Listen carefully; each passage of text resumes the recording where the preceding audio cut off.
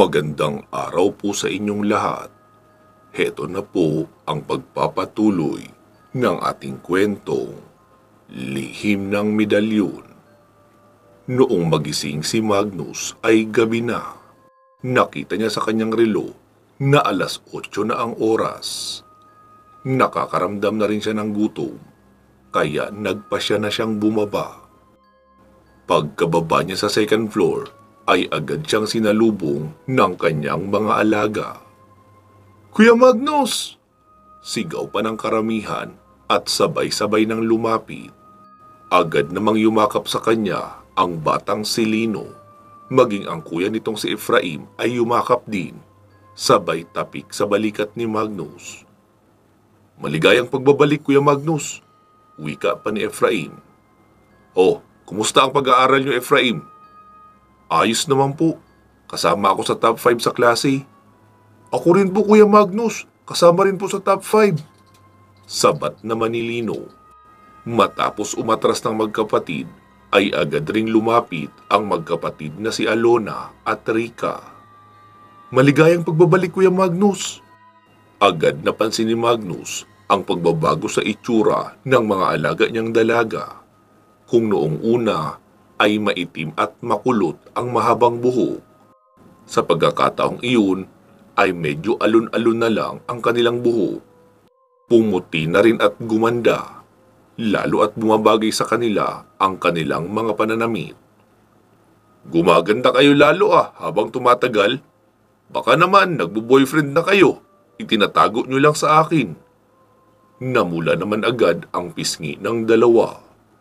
Hala Kuya Magnus, hindi po. Kahit tanong niyo pa po kay Ate Altea.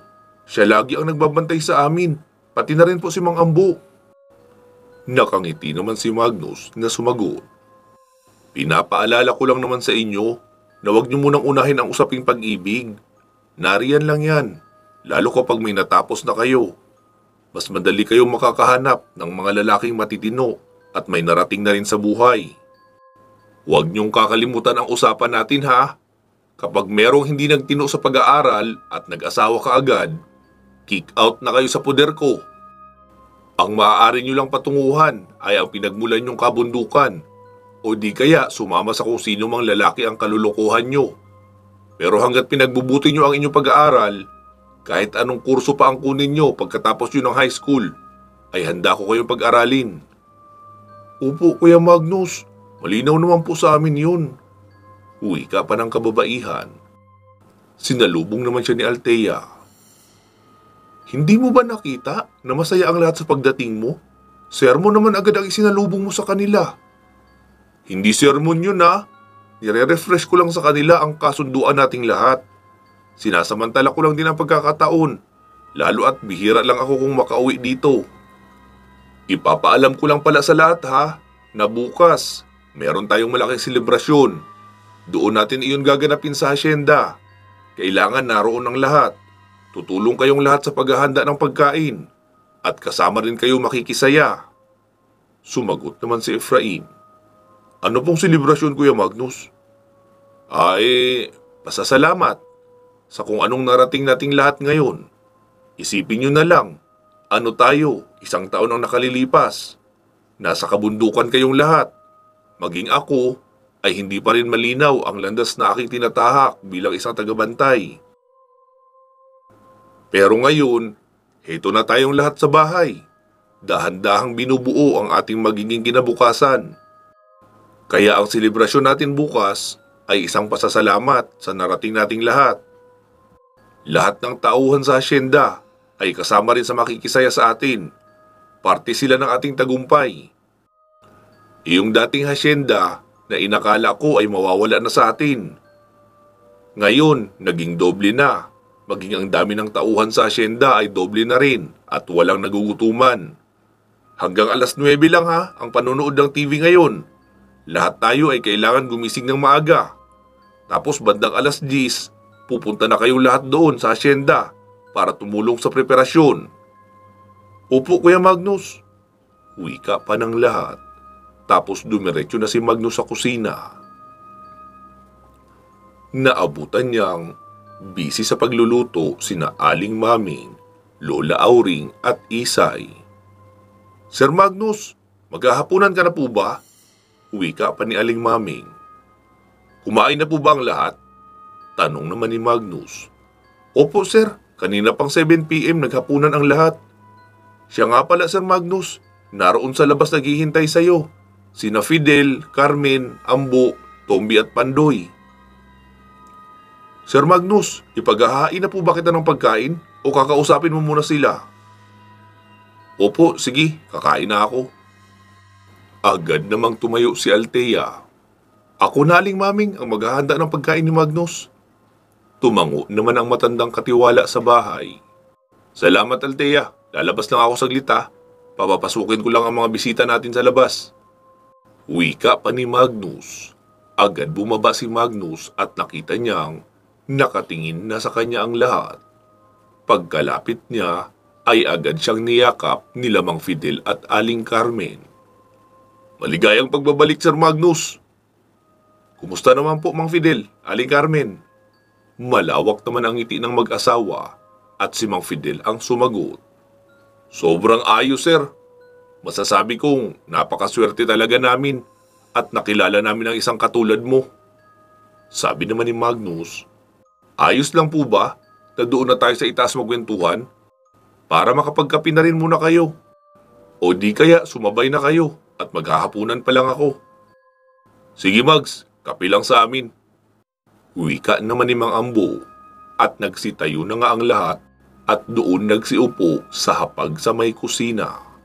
Agad naman silang pinagtimpla ng kape ni Naaling Maming at Isay.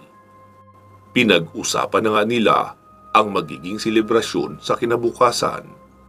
Nagpaarkila na rin si Magnus ng sound system para sa sayawan sa laki kasi ng asyenda, humigit kumulang ay nasa isang daan din ang tauhan, hindi pa kasama ang mga ampon ni Magnus. Masayang natapos ang kanilang pag-uusap tungkol sa paghahanda para sa selebrasyon. Pagsapit ng alas 9 ay tumayo na si Rika at pinatay ang TV. Wala namang naging reklamo ang lahat dahil narinig naman nila ang bili ni Magnus na hanggang alas 9 lang ang panunood dahil maaga silang gigising para sa selebrasyon. Kinabukasan, pasado alas 10 pa lang, ay makikita na ang malalapad na toldang nakalatag hindi kalayuan sa bahay nila Tommy at Pandoy. Meron na rin isang drum na may yelo kung saan inilubog ang napakaraming soft drinks na nakabote. Sa isang drum naman ay beer ang nakalubog habang may kasama ring yelo. Nakaredy na rin ang setup ng malalaking speakers mula sa inarkila nilang sound system na may kasamang DJ upang maglagay ng magagandang tugtugin na nakakaindak sayawin. Pagsapit ng alas 12, kumpleto na lahat ng tauhan sa pagdarausan ng selebrasyon kinuha ni Magnus ang mikropono upang magsalita. Ah, magandang tanghali po sa ating lahat. Sa mga hindi masyadong pamilyar kung sino ako, ako po si Magnus Argente, apo ni Lola Corazon. Pasensya na kayo ah, kailangan kong magpakilala. Noong bago kasi ako umalis, ay hindi pa kayo ganito karami. Sa tingin ko, marami sa inyo ang bago lang dito. Ang selebrasyon na ito ay para sa ating lahat. Hindi ko po birthday ha. Para ito sa patuloy na pag-unlad ng ating hasyenda. Dahil iyon siyempre sa malasakit nyo at sipag sa pagtatrabaho. Alam kong ang iba sa inyo rito ay galing pa sa orihinal na amo ng kabilang hasyenda na si Don Roman Carlos.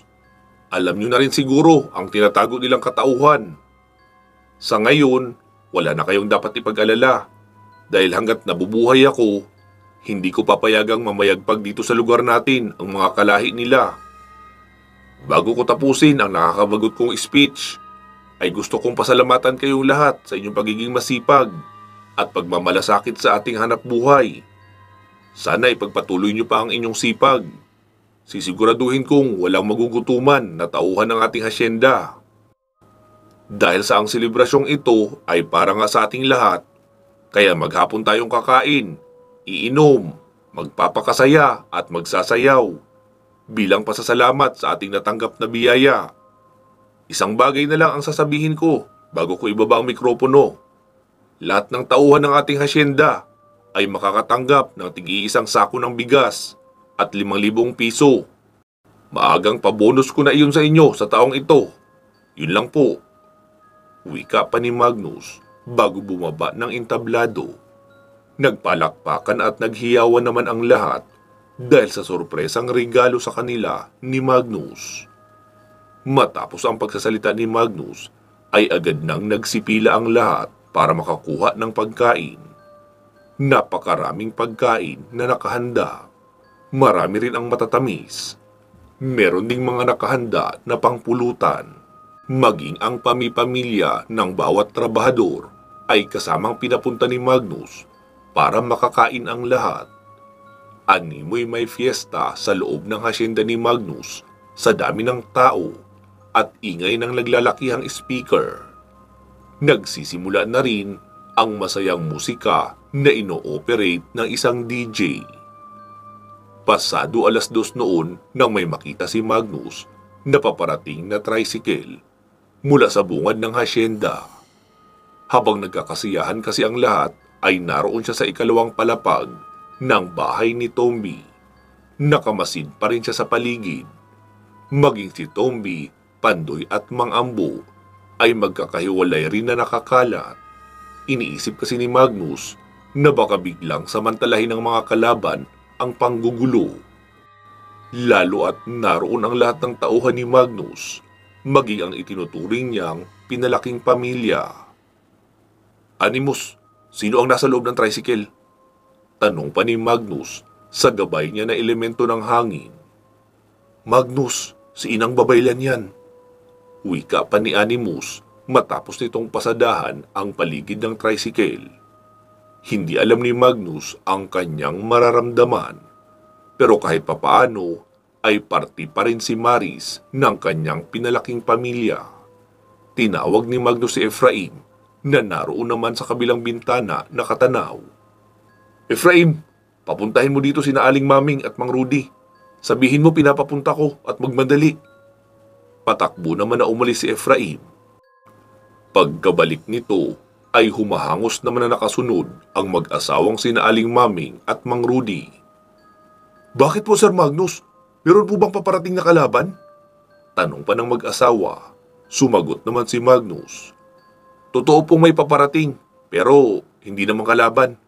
Bumaba na po kayo at salubungin ang paparating nating bisita. Iyang nakasakay sa tricycle na malapit nang dumating sa bungad. Agad namang bumaba ang mag-asawa at hindi alam kung sino ang inaasahan nilang darating. Pagkahinto ng tricycle ay agad nang kumawala ang luha ng mag-asawa noong makitang ang anak nilang si Maris ang dumating na halos tatlong taon din nilang hindi nasilayan magmula noong umakyat ito sa bundok ng Ibisan. Nagkaiyakan ang mag-iina.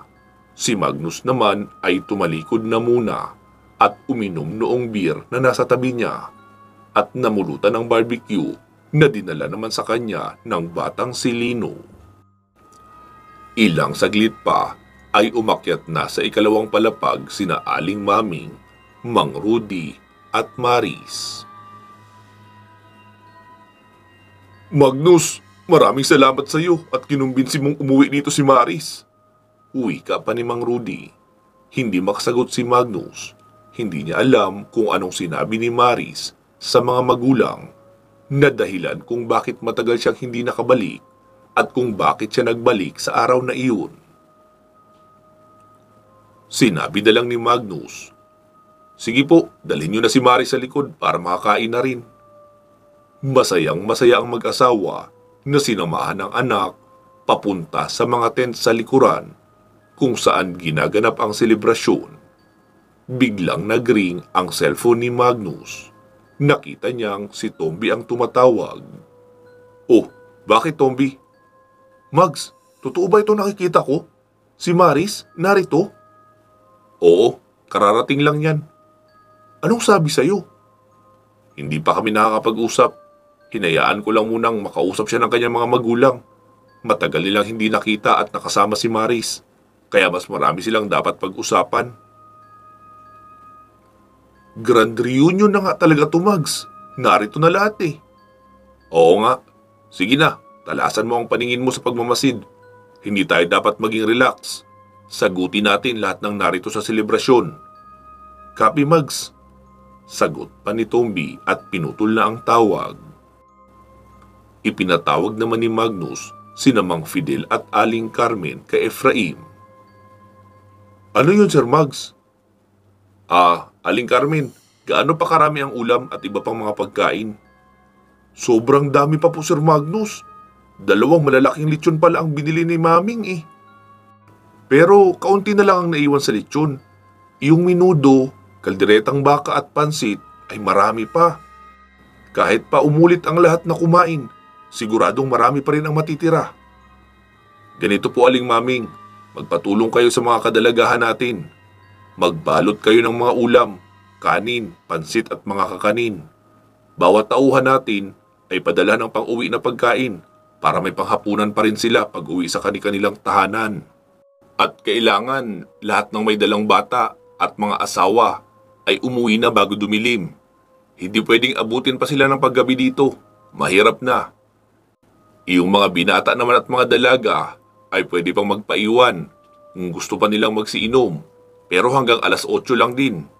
Ipapatigil na natin ang tugtog ng alas 8 para lahat ay makauwi na ng ligtas at makapagpahinga ng maaga.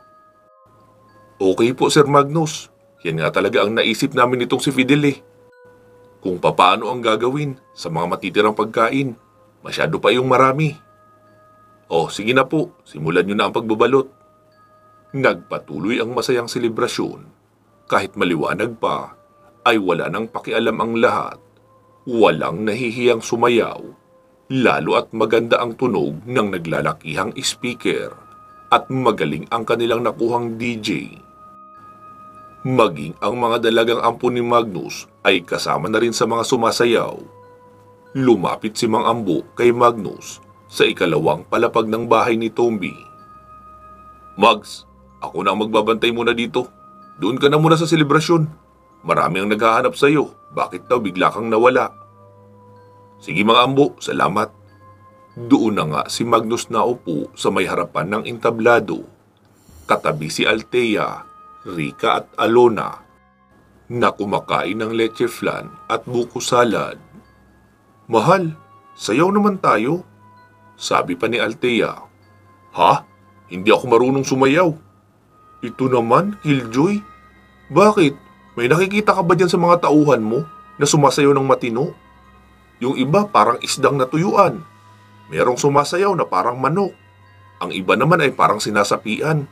Kaya tara na, isayaw mo na ako. Wala ka namang dapat ikahiya. Tumayo naman agad sina Alona at Rika. Tara na Kuya Magnus. Wika pa ng dalawang dalaga sabay hila kay Magnus. Kaya wala nang nagawa si Magnus kundi ang sumama sa gitna habang kapareha sa pagsasayaw sina Altea, Rika at Alona. Lalo namang dumami ang sumasayaw noong makitang naroon na si Magnus sa gitna. Halos nabakanti na nga ang mga upuan at napuno ang gitna ng sayawan.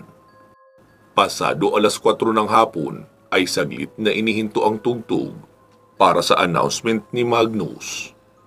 Ah, Saglit ko lang pong iistorbuhin uli kayo ah, para sa isang paalala. Yun pong mga may dalang pamilya ay kailangan makauwi na bago dumilim. Pero bago umuwi, ay kunin niyo muna iyong patake home ko na pagkain sa inyo.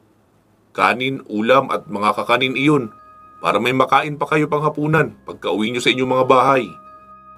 Gusto ko lang na makauwi kayo ng ligtas, kaya pinaaga ko na ang pagpapauwi sa may mga dalang bata at pamilya. Yun namang mga solo lang, binata at mga dalaga, pwede pang mag-stay hanggang alas 8. Pagsapit ng alas 8 ay papatayin na rin natin ang ating sound system para makapagpahinga na rin kayo sa inyong mga tahanan. Maraming salamat po ha sa pagdalo sa ating selebrasyon ng pasasalamat. Sa makalawa po ipamimigay ang isang sakong bigas at cash gift na ipinangako ko. Sa mga may kaunting lakas pa dyan, isayaw nyo na yan habang may oras pa. Yun lang po. Maraming salamat. Muling nagpalakpakan ang lahat matapos magsalita ni Magnus. Gaya ng plano ni Magnus, pagsapit ng alas 8, nakauwi na nga ang lahat ng mga tauhan niya. Nagsisimula na rin magligpit ang crew ng sound system. Lahat iyon ay pinabaunan ng pa-take home na pagkain. Maliban sa bayad sa sound system, binigyan rin ni Magnus ng tiglimang daan bawat isa bilang tip. Masaya kasi si Magnus na naging maayos ang buong selebrasyon at walang naging aberya lalo na sa sound system. Ano Mags, tara na. Uwi ka pa ni Mang Ambo. Sige na po Mang Ambo, mauna na kayo. Susunod na lang kami ni Altea. Umalis na nga si Mang Ambo sakay ng mahabang jeep habang sakay niya rin lahat ng kasama sa bahay.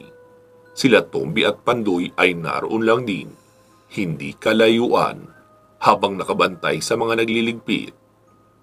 Paano Mags? Anong next in line natin? Tanong pa ni Tombi. Pahinga muna tayo bukas. Tapos sa makalawa kayo mamamahagi ng bigas. At iyong cash gift. Tapos sa susunod na araw ay pupunta na tayo sa lugar ng kapatid ni Mang Ambo. Nagpaalam na ba kayo sa mga asawa nyo? Oo naman Mags. Wala namang problema sa kanila yun. Lalo at matagal-tagal ka na namin hindi nakakasama. Ah, mabuti pala kung ganun. Sige, uuwi na kami. Kailangan ko namang gampanan ang obligasyon ko kay Althea. Baka maghanap ng iba eh, kung hindi ko aasikasuhin ang pangangailangan niya. Oo Mags, marami-rami ka talagang utang dyan. Sagot naman ni Tombi. Nakangiti naman si Althea habang naroon lang sa sasakyan ni Magnus. Nakaupo habang nakabukas ang pintuan ng sasakyan. Sige, aalis na kami. Tawagin niyo na lang ako kung may problema dito ah. Oo Mags, huwag mo kaming alalahanin. Sagot naman ni Pandoy. Bumiyahe na nga papauwi ng mansyon sina Magnus at Althea. Silang dalawa na lang ang magkasabay dahil lahat ay doon na sumabay kay Mang Ambo sa jeep. Magnus, anong ginagawa dito ni Maris? Bakit siya nagbalik? Akala ko ba isa na siyang inang babaylan sa ibisan? Tanong pa ni Althea. Oo, totoo naman na isa na siyang inang babaylan. Ilang taon na rin siyang hindi nakikita nila Aling Maming at Mang Rudy, kaya siguro siya umuwi.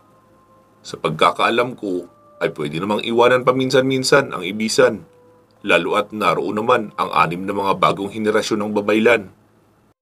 Tumahimik lang si Althea habang nakatingin sa labas na parang may dinadalang mabigat pero hindi masabi. Oh, anong problema mo mahal? Tanong pa ni Magnus. Wala. Hindi lang ako komportable na kasama natin si Mari sa iisang bahay. Lalo at alam kong may feeling siya para sa'yo. Ano ka ba? Matagal na iyong samahan namin ni Maris dati. Iba na ang buhay niya ngayon. Maging ako man ay iba na rin. Ikaw na ang nagmamayari sa akin ngayon. Talaga? Kahit akitin ka ni Maris, hindi mo siya papatulan? Mahal naman. Isa ng inang babaylan si Maris. Hinding-hindi niya magagawang mangakit. At kung gawin niya man iyon, ay hindi rin naman ako maaakit. Mahal kaya kita. Talaga? Oo naman. Sagot naman ni Magnus. Eh di sige na pala. Bilisan mo na ang pagpapatakbo nitong sasakyan mo. Para tayo sumasabay sa mga nagja-jogging eh, sa takbong ito. Para makapaningil na ako sa iyo uli. Hindi ka pa nga nangangalahati sa pagbabayad ng mga utang mo sa akin. Napangiti naman si Magnus sa sinabi ni Althea. Mukhang walang nagbago rito pagdating sa hilig sa pagpapadama ng pag-ibig. Pagkarating sa mansyon ay wala na nga silang sinayang na oras. Hindi na nakipag-usap pa si Magnus sa mga kasama nila sa bahay. Diretso na sila sa kwarto at sinimulan na ang pagbabayad ng malaking pagkakautang. Makalipas ang tatlong araw ay naghahanda na sa pag-alis sila Magnus para magpunta sa lugar ng kapatid ni Mang Ambo. Lumapit naman si Maris kay Magnus. Magnus, sorry. Sorry dahil nakikialam ako sa mga desisyon mo. Lalo na sa pagganap po sa iyong misyon. Bumuntong hininga rin si Magnus bago sumagot. Sorry din Maris. Masyadong mabigat ang pananalita na binitawan ko sa iyo noong nakaraan. Hindi ko na yun dapat sinabi at hindi kita dapat iniwan doon. Ayos lang yun Magnus. Hindi rin naman ako nagtagal doon. Kinailangan kong bumalik agad sa ibisan. May nangyaring hindi maganda. Ha? Bakit? Anong nangyari sa ibisan? Nag-aalalang tanong pa ni Magnus. Basta, problemang kaya din naman naming solusyonan. Sasabihin ko sa iyo kapag kailangan na namin ng tulong ng isang tagabantay. Kahit hindi sumasang-ayon si Magnus, napaglihiman siya ni Maris sa problemang kinakaharap nito ay iginalang niya na lang din. Magnus, nabalitaan ko ang problema sa Cebu. Hindi lang naman ang kapatid ni Mang Ambo ang apektado roon. Marami na akong report na natanggap na lumalaki na ang problema sa lugar na iyon. Pupunta talaga ako doon. Nais kong malaman ang sitwasyon ng lugar. Pero naisip kong dumaan muna dito sa Bohol dahil baka nagkakagulo na rin dito. Hindi ko naman alam na narito ka rin pala. Akala ko ay bumalik na kayo ni Tasyo sa Subic para magliwaliw. Ah, hindi. Nasa special assignment si Tasyo ngayon. Kaya nagpasya akong umuwi na lang muna dito. Magnus, pwede ba akong sumabay sa inyo ni Mang Ambo sa pagpunta sa Cebu? Saglit na natahimik si Magnus. Iniisip niya kasi na baka ano na naman ang isipin ni Althea. Pero naisip niya rin na malinaw na rin sa kanila ni Maris ang boundary nila sa isa't isa. Tinanggap na nila na malabo na ang tungkol sa kanila. Kaya nga siya nagpasyang ibuhos na kay Althea lahat ng kanyang pagmamahal kaysa umasa kay Maris na alam niya namang imposibleng matupad. Sige Maris, ayos lang. Ihanda mo na ang mga dadalhin mo. Mamayang alas tres ng hapon ang alis natin. Salamat Magnus. Uwi ka pa ni Maris.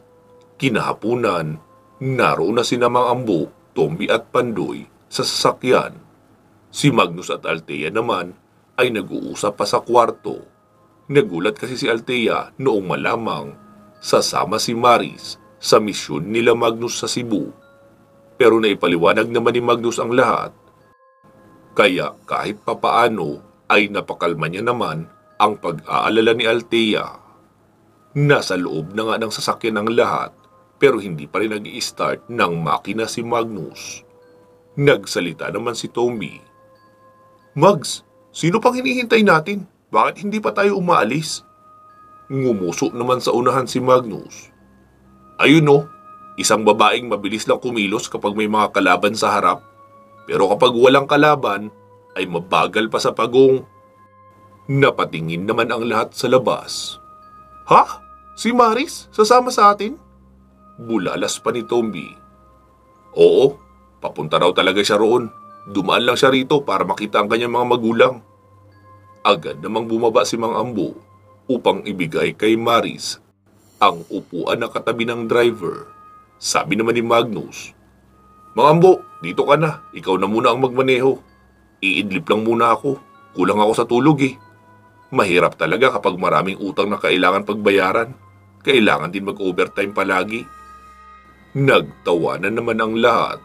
Kaya si Mang Ambo na nga ang nagmaneho habang katabi niya sa harapan si Maris. Sina Magnus, Pandoy at Tombi naman ang magkakatabi sa gitnang bahagi ng Pajero. Nagsimula na nga ang kanilang biyahe para sa panibagong misyon sa Cebu. Ito na uli ang panibagong pagkakataon na magsasama-sama sila sa iisang misyon makalipas ang mahigit dalawang taon. Kaya masaya sila sa kanilang misyon kahit pa wala silang ideya kung gaano karaming kalaban ang naghihintay sa kanila roon. Pansamantala muna natin puputulin dito ang ating kwento. Magsama-sama tayong muli sa part 115. Mag-iingat po kayo palagi at hanggang sa muli.